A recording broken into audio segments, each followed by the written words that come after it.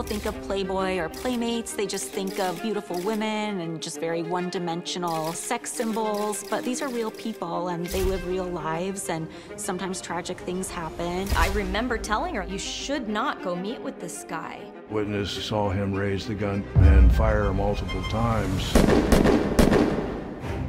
Playboy Murders on ID is a six-part series, and each part focuses on a different murder case that's connected to the Playboy world, whether there was a playmate involved or a bunny involved. Talking to a lot of the girls seemed to be his main hobby, so to speak. All this backstory that's coming out about the Playboy world is really surprising to a lot of people. They're just kind of realizing there was a dark side to Playboy.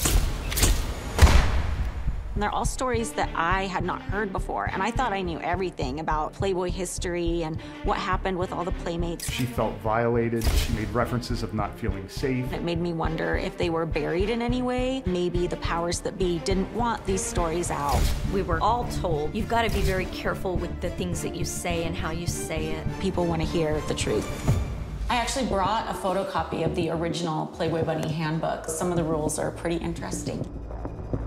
This is bad even for the... I know, even for the stuff they're willing to put in print, right? I feel like I can resonate with these stories. I thought it was really important that they be told, especially since many of these people aren't around to share the stories themselves. These cases cover such a large period of time. We have cases from the 70s. Carol didn't know it, but she was about to become one of Playboy's first ever bunnies. From the 90s. None of us knew the road that she was going would lead to the dead end that it did. From only a few years ago.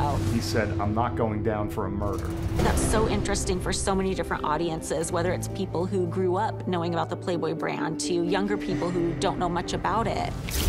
The Playboy murders is shocking. She had been murdered and dismembered. Compelling. No one who loved a human being would do this. And surprisingly relatable. How could any human being do something like this? These are all real people. These kind of things could happen to anyone. Everything was taken from me that day.